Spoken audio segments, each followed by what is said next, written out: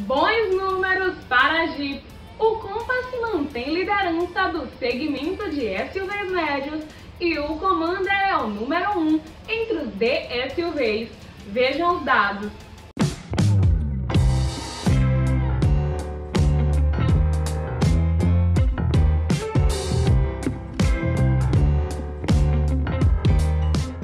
Jeep encerrou o mês de março na liderança do mercado de SUVs. A marca também conquistou este feito no trimestre, com 21% de participação entre os utilitários esportivos e 30.303 carros vendidos. Além disso, fechou com 8% da fatia do mercado nacional como um todo nos primeiros três meses do ano, um crescimento de quase 1,2% em comparação ao mesmo período do ano anterior, que foi de 6,8%.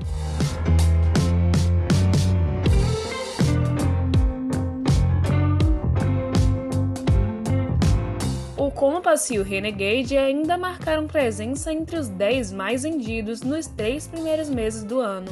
Em março, além de seguir sendo o número 1 um entre os SUVs, com 10.160 veículos comercializados, a marca conquistou 19,8% de market share do segmento e emplacou o Commander e o Compass como líderes de suas respectivas categorias.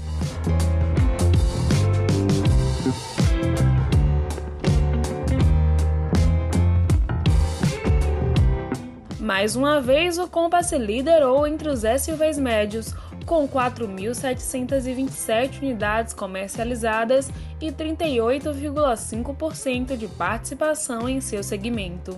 O Commander também conquistou o mesmo feito em sua categoria, com 1.835 veículos vendidos e 39% do share de DSUVs, praticamente o dobro do segundo colocado.